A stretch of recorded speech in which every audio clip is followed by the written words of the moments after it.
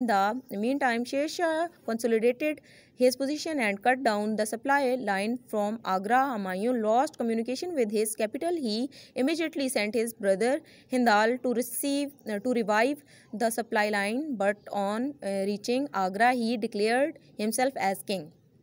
चंद हफ्तों के बाद हमायूं को इतला मिली कि शेरशाह ने बंगाल के दारकूमत गोड़ का मुआसरा कर लिया है। इस हरकत पर उसको बहुत गुस्सा आया और उसने चढ़ाई का फैसला किया। इसी दौरान शेरशाह ने इसी दौरान मीन इसी दौरान शेरशाह ने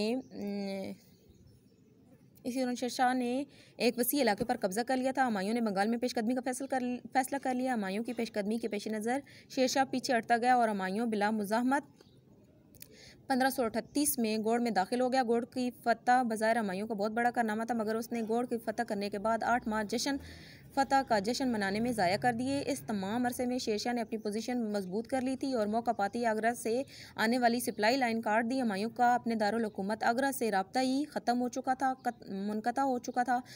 इसने फ़ौर अपने भाई मिर्ज़ा अंदाल को सप्लाई लाइन बहाल करने के लिए इमिजिएटली फ़ौर बहाल करने के लिए रवाना किया, मगर मिर्ज़ा अंदाल ने आगरा पहुंचकर अपने बच्चा होने का ऐलान कर दिया।